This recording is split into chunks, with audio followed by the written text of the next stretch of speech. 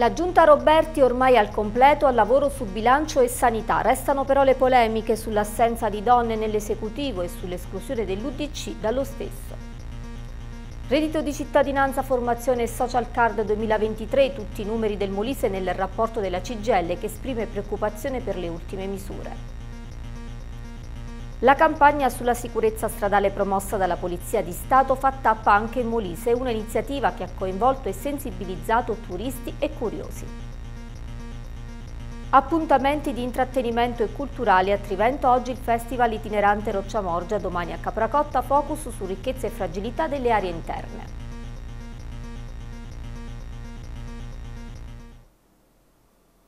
Bentrovati gentili telespettatori, nuova edizione del telegiornale di TLT. Apriamo con la politica, la giunta regionale di centrodestra ora al completo concentrata sull'approvazione del bilancio e sulla sanità. Restano tuttavia i mal di pancia, niente quote rosa e il partito dell'UDC escluso.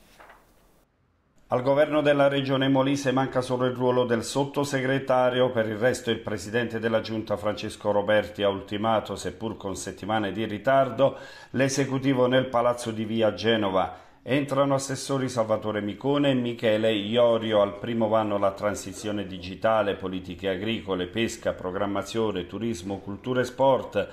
Al secondo gli incarichi che riguardano le riforme istituzionali PNRR e politiche di coesione, rapporti con i ministeri per l'attuazione del piano di rientro sanitario. Micone Iorio, entrambi di Fratelli d'Italia, vanno ad aggiungersi a Michele Marone della Lega, Gianluca Cefaratti, il Molise che vogliamo, e Andrea Di Lucente di Forza Italia, che rivestirà anche il ruolo di vicepresidente un esecutivo di centrodestra composto da cinque assessori più il presidente Roberti, di soli uomini, senza quote rosa. È caduta infatti sul nascere la possibilità di inserire a Palazzo Vitale Stefania Passarelli, ex sindaca di Pozzilli. Per Michele Iorio invece un ritorno in giunta dopo più di un decennio alla guida dell'amministrazione regionale. Neanche il tempo di formalizzare le deleghe che scoppia la grana UDC il partito dell'onorevole Lorenzo Cesa è sgomento per come Francesco Roberti ha definito il nuovo governo del Molise. I centristi sono fuori dalla giunta, si sentono traditi ma rivendicano il rispetto della coalizione.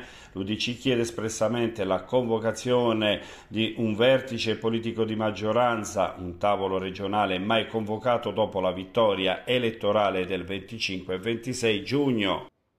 Nessuna donna in giunta, illegittimo, inaccettabile e gravissimo. Che ne pensa la Meloni? Noi torneremo a fare ricorso. Queste le parole della consigliera regionale del PD, Michaela Fanelli, dopo la composizione dell'esecutivo Roberti.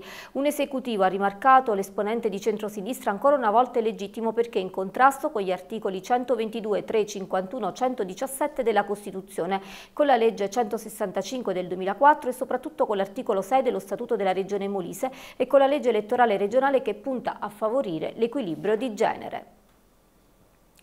E i parlamentari molisani Costanzo della Porta e Elisabetta Lancellotta insieme al Presidente della Regione Francesco Roberti hanno incontrato a Roma il Ministro della Salute Orazio Schillaci, l'ente di ingrandimento sulle linee programmatiche della sanità molisana. Il Ministro Schillaci ha prospettato il possibile superamento del decreto Balduzzi entro la fine del prossimo mese di ottobre. Si porteranno così sostanziali migliorie in ambito sanitario con conseguenti benefici in favore dei cittadini. Come sottolineato sottolineato dalla Porta e Lancellotte, infatti si potranno attribuire maggiori risorse al comparto in Molise, un punto di partenza per l'uscita dal commissariamento. Reddito di cittadinanza, formazione social card 2023, rapporto e preoccupazioni della CGL. Con l'abolizione del reddito di cittadinanza da parte del governo Meloni si tirano le prime somme. In Molise nel 2023 i percettori sono stati quasi 13.000, di questi 3.950 sono rimasti senza il sostegno dal 31 luglio, mentre i cittadini che beneficeranno della social card da usare per l'acquisto di generi alimentari sono 9.209. Tutti i numeri analizzati dalla CGL Abruzzo Molise nel rapporto regionale reddito di cittadinanza formazione social card 2023. Nello specifico continueranno a ricevere il reddito di cittadinanza fino al 31 dicembre 2023 solo quei nuclei al cui interno c'è un minore, un disabile o un ultra 65enne. A partire dal 1 gennaio 2024 queste famiglie potranno chiedere l'assegno di inclusione. Per chi ha cessato il sostegno da settembre potrà eventualmente accedere al supporto per la formazione e il lavoro, una nuova misura dal valore di 350 euro mensili che saranno erogati solo nei mesi in cui saranno attivi percorsi formativi. Non per tutti però sarà possibile accedervi e comunque ad oggi i corsi disponibili avrebbero una durata sicuramente inferiore ai 12 mesi, un aspetto quest'ultimo per cui la CGL esprime preoccupazione ed ancora potranno continuare a percepire il reddito di cittadinanza fino al 31 dicembre coloro che sono stati presi in carico dai servizi sociali. In questo caso spetterà ai comuni fare le opportune comunicazioni entro il 31 ottobre prossimo tramite la piattaforma GEPI del Ministero del Lavoro. Non è ancora chiaro però se la misura si si possa estendere anche a coloro che nel frattempo verranno presi in carico dagli stessi servizi sociali. Circa la Social Card 2023 sono 9.209 i molisani che potranno andare in ufficio postale per ritirare la carta prepagata dedicata a te del valore di 382,50 euro da utilizzare per l'acquisto di generi alimentari. Ne avranno diritto i nuclei familiari di almeno tre componenti e ISA inferiore a 15.000 euro, a condizione che rientrino tra i beneficiari nella graduatoria comunale. Sono esclusi coloro che nel mese mese di luglio percepivano reddito o pensione di cittadinanza, NASPI, cassa integrazione o altri sostegni, così come sono esclusi tutti i nuclei familiari di uno o due componenti a prescindere dal reddito. Insomma, un impianto che non lascia tranquilla la CGL.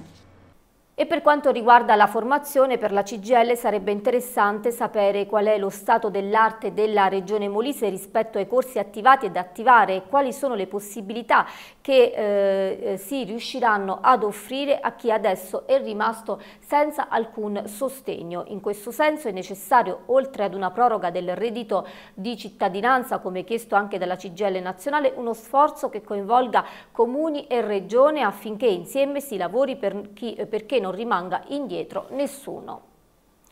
Voltiamo pagina all'8.0 ad Isernia, Prefettura e ANAS pronti a firmare un protocollo di legalità. L'invito ad attendere il pronunciamento del TAR in merito al progetto. Lavori per la realizzazione dell'8-0 ad Isernia. Domani, giovedì 3 agosto, Prefettura Pentra ed ANAS firmeranno un protocollo per la legalità, un atto attraverso il quale gli stessi enti andranno ad attestare come il complesso e articolato iter procedurale necessario alla realizzazione di un'opera di tale portata sia stato seguito rispettando tutti i criteri richiesti in ogni passaggio nel pieno rispetto delle regole. Tuttavia il TAR Molise ancora non si è pronunciato nel merito del ricorso presentato dal Comune di Isernia riguardante la scaduta valutazione di impatto ambientale. È passato oltre un anno e mezzo ed è atteso il giudizio del Tribunale amministrativo regionale, eppure Prefettura ed ANAS procederanno con la firma. Perché questa fretta, si chiede il Comitato 980. Inoltre vi sono alcune palesi mancanze documentali contenute nell'iter procedurale, in particolare assenti la cosiddetta opzione zero, cioè la valutazione costi-benefici anche nell'ipotesi di non realizzazione dell'opera e la mancata approvazione nei consigli comunali delle tre amministrazioni interessate delle varianti ai piani regolatori sui progetti definitivi. Il Comitato 980 ricorda poi che esistono altre indagini aperte che ancora non hanno avuto la loro definizione. Per lo stesso il progetto resta inutile, costoso e pericoloso, oltre che illegale, per cui bisognerebbe attendere che la magistratura coinvolta si pronunci. L'invito al prefetto affinché non proceda con nessun avvallo una strada che potrebbe essere sbarrata in un prossimo futuro e al sindaco di Sernia perché esponga le ragioni del no al progetto che prevede consumo di suolo prezioso, taglio di alberi, colate di cemento ed asfalto e sperpero ingente di denaro. Forte cordoglio nel piccolo centro pugliese di Serra Capriola per la famiglia di Massimo Trivelli, il 51enne operaio rimasto vittima di un incidente mortale a Montagano due giorni fa colpito da una pala meccanica all'interno dell'impianto di conferimento rifiuti. Su disposizione della magistratura di Campobasso la salma dell'uomo è stata restituita ai familiari per i funerali. La Guardia di Finanza di Pescara ha concluso le indagini sull'operato di una cooperativa dedita al trasporto in ambulanza, sotto sequestro mezzi e beni immobili della società. La Guardia di Finanza di Pescara ha concluso le indagini su una cooperativa che si occupa di trasporto in ambulanza sul territorio nazionale. Lo sfruttamento dei lavoratori, il non rispetto delle condizioni di contratto stipulato con la stazione appaltante e la mancata sanificazione dei mezzi utilizzati permettevano alla ditta di offrire i servizi a prezzi ribassati e di vincere le gare d'appalto. I soccorsi erano inoltre garantiti da un numero di ambulanze inferiore a quanto previsto dai contratti. Uno degli indagati era già stato precedentemente condannato nel 2017 per turbamento d'asta, quindi per partecipare ai bandi la società ricorreva ad un prestanome. A conclusione dell'attività di indagine, il Tribunale di Pescara ha sequestrato beni per un totale di 10 milioni di euro e ha congelato un capitale di 200 mila euro. La cooperativa ora sarà gestita da un amministratore giudiziario appositamente nominato, per cui i dipendenti non saranno licenziati, ma continueranno a svolgere regolarmente le operazioni di soccorso. La Procura della Repubblica di Larino ha fissato a domani pomeriggio l'autopsia sul corpo di Michele Basanini, il 51enne appassionato di pesca subacquea annegato nelle acque antistanti la spiaggia di Campo Marino Lido domenica 30 luglio. Sulla vicenda ci sono le indagini in corso da parte della Capitaneria di Porto di Termoli. L'autopsia sarà eseguita nell'obitorio dell'ospedale San Timoteo. Estate con noi è la campagna di educazione stradale promossa dalla Polizia di Stato. La manifestazione fa tappa anche in Molise, nel piazzale del Castello Svevo di Termoli, radunando turisti e curiosi. La Polizia Stradale sta promuovendo in tutta Italia la campagna sulla sicurezza alla guida. In questi giorni l'iniziativa itinerante Estate con noi sta facendo tappa sul litorale adriatico. Giulianova e Pescara, ma anche Termoli, dove domenica scorsa gli agenti hanno mostrato al pubblico il pullman azzurro e la Lamborghini utilizzata per il trasporto di organi e sangue. Quest'auto infatti permette di guidare in sicurezza anche ad alta velocità. La manifestazione di educazione stradale State con noi ha lo scopo di affrontare un tema estremamente importante utilizzando un linguaggio semplice e avvicinandosi a persone di tutte le fasce d'età. Infatti la campagna di prevenzione proseguirà anche nelle scuole con il progetto Icaro, portato avanti da vent'anni dalla Polizia di Stato, in partenariato con il Ministero dell'Istruzione. Si è costituito ufficialmente il Comitato Territoriale CRI di Termoli, già sede territoriale afferente al Comitato di Campobasso. I comitati di Croce Rossa presenti nella regione Molise diventano quindi tre, Campobasso, Esernia e Termoli. Una data storica che, afferma Antonio Vitarelli, presidente CRI Molise, eh, ci permette di ampliare la nostra presenza aggiungendo dopo 25 anni un nuovo comitato sulla costa adriatica. I volontari sono pronti per iniziare questa nuova esperienza e tutti noi saremo ancora più presenti presenti al fianco della popolazione termolese e dei territori limitrofi. Sulla scalinata del folklore di Termoli riprende dopo due anni di interruzione la foto d'insieme, ieri sera la tredicesima edizione. Sono 13 anni che si celebra questo rito del primo agosto con i termolesi che si fanno fotografare per ribadire la loro termolesità sulla scalinata del folklore.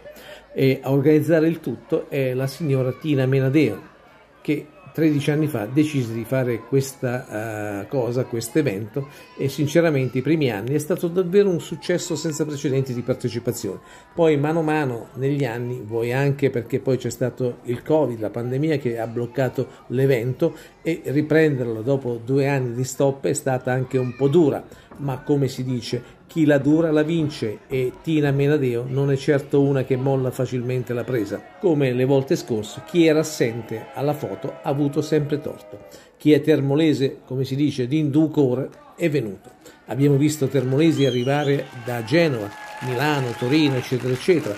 E allora ribadiamo ancora una volta di più a gran voce. Noi siamo i termolesi, ci rivedremo sempre, anche comunque il primo agosto 2024. San Basso, santo patrono di Termoli, protagonista della nuova poesia scritta dal professor Nicola Palladino in occasione fest della festività più sentita eh, nella cittadina adriatica. Lui, il professore di musica Nicola Palladino in pensione, è uno di quei pochi che ha ancora realmente Termoli di ed appena si presenta l'occasione non perde tempo e lo ribadisce a gran voce. Oggi, in occasione della festa patronale di San Basso, non poteva far mancare ai telespettatori di TLT la poesia sul santo patrono termolese San Basso appena scritta e siamo i primi ad ascoltarla, questa chicca. Nducor de San Basso è il titolo. Buon San Basso a tutti i nostri telespettatori. Io ci sono attaccata forse ne è più importante, ma da quando sono nata voglio bene a stu santo, che è amica di chi crede, pure di chi non fede. Da dinda la cattedrale guarda, vede e prevede. Stesen dall'urna pare che dorma a sonno chiene, ma leggen i pensieri da gente uno a uno. Se qualcuno non voca, metta a buona parola e il Padre Eterno scote quando fa da zanzala. Zitte, tranquille, quiete, per fatte di prete, ma quando serve aiuto, ma che ci tira a rete. Addirittura, quando sta quella cui stima, fa impegno che non e gli rimette a stima. Immaranare tutte, a gente vecchia e nuova, lo rispettano e sanno che è santa tutta prova. E mo che pure Juan a festa sua è arrivata, io voglio dedicare sti versi appassionati. Vescova bella mia, s'abbassa la durata, addrizzale tu a coccia tutti svertavata. Parla tu, cu Signore, issa che sta lassù, sa che in tu cuore tu ci stiamo sempre noi. Gli appuntamenti legati alla settima edizione del Festival itinerante Roccia Morgia oggi a Trivento, dalla mattinata lungo la scalinata San Nicola la promozione enogastronomica con produttori e aziende agricole, nel pomeriggio dialoghi letterari con le scrittrici Antonella Presutti e Adele Fraracci, infine in serata il concerto di Leonora Bordonaro e Puccio Castrogiovanni. Si parlerà del ruolo delle aree interne delle province, delle loro ricchezze e delle loro fragilità domani giovedì alle 18 in piazza Falconi a Capracotta. Sarà Federico 40, autore e conduttore televisivo, l'ospite d'eccezione invitato dall'associazione Tecne per il eh, calendario di Montagna Molise. Ed ora spazio alle previsioni del tempo.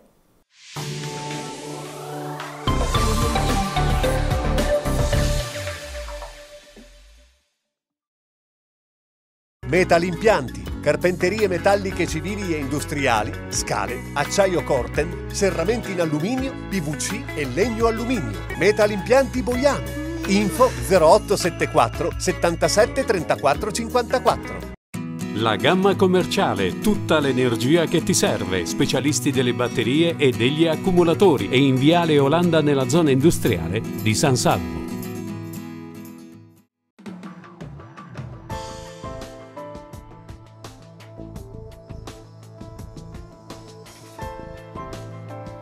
Cielo soleggiato oggi su Molise e Abruzzo, dalla sera senza di nubi. Le temperature odierne sono comprese fra la minima di 18 gradi e una massima di 31 ad Isernia per il Molise. In Abruzzo si registra una minima di 16 gradi all'Aquila e una massima di 34 gradi a Pescara. Nella giornata di domani ancora prevalenza di sole e clima caldo, calmo il medio Adriatico, venti dai quadranti sud-orientali.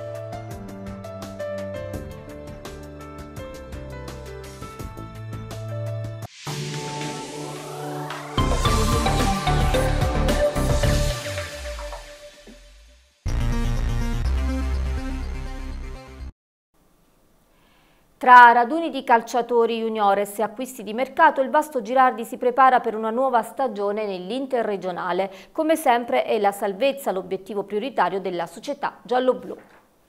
A che punto è il Vasto Girardi? Ah, il Vasto Girardi è all'80% della costruzione della squadra, col direttore eh, ci siamo confrontati più volte in questi giorni, ieri la prima uscita con la Juve Stabia, eh, al di là del risultato abbiamo visto buone cose, eh, pur sempre pensando che eravamo da quattro giorni in ritiro, quindi i primi carichi di lavoro, però qualcosa di buono abbiamo visto, c'è qualche giovane interessante, c'è qualche nostra vecchia conoscenza che è ritornato. Eh, il direttore negli ultimi, nei prossimi giorni metterà all'interno del gruppo due o tre tasselli di spessore che faranno ancora crescere il livello della nostra squadra. Mantenendo sempre lo stesso budget cercheremo di raggiungere sempre il nostro obiettivo che è quello di mantenere la categoria. Allo stadio comunale di Fornelli domani giovedì alle 18 si svolgerà il secondo raduno calcistico organizzato dalla società Vasto Girardi per la categoria juniores in collaborazione con l'Olympic Isernia Sant'Agapito. Appuntamento sul rettangolo verde per i calciatori nati negli anni dal 2005 al 2007. Coloro che intendono partecipare dovranno essere muniti di certificato medico e del nulla osta della società da cui si proviene. Pallavolo maschile di Serie B, l'Energy Time Campobasso conferma il 27enne centrale Michele Sulmona alla terza stagione consecutiva con il club del capoluogo di regione. Il tecnico siciliano Mariano Maniscalco ritrova così una pedina fondamentale nel sestetto rosso-blu. A Isernia è giunto il tempo di organizzare un torneo di tennis per i semiprofessionisti dopo circa 30 anni dall'ultima edizione. L'Open si giocherà dal 21 agosto al 3 settembre al Circolo Tennis del capoluogo di provincia, 3.000 euro il montepremi. E con questo è tutto, vi ringrazio per l'ascolto, vi do appuntamento alle prossime edizioni della nostra informazione. Arrivederci.